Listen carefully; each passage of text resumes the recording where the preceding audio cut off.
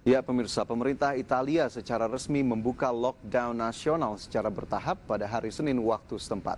Di mana pihak negeri pizza telah menyiapkan sejumlah aturan bagi warga guna mencegah timbulnya gelombang kedua penyebaran pandemi COVID-19.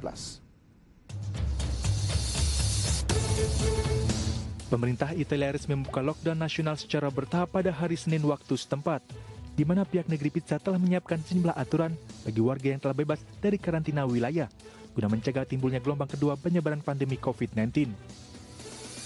Beberapa peraturan yang disiapkan pemerintah setempat, di antaranya ialah memperbolehkan untuk mengunjungi keluarga dan sanak saudara, mengunjungi taman kota, serta melakukan aktivitas bersepeda dan berlari. Namun demikian, aturan tersebut hanya berlaku bagi mereka yang tinggal di satu provinsi dan tetap dilarang untuk dilakukan secara berkelompok. Selain itu, sebanyak 20 wilayah di Italia mulai menerapkan aturan pembebasan lockdown mereka, seperti di dua wilayah kota Veneto dan Calabria, yang membuka kembali aktivitas bar dan restoran. Sedangkan di kota Liguria dan Margay, pihak setempat juga membuka kembali pantai di kawasan bagi mereka yang ingin berkunjung.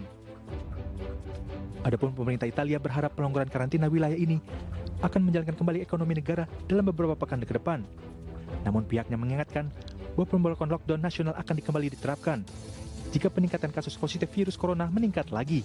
Berbagi sumber untuk IDX Channel.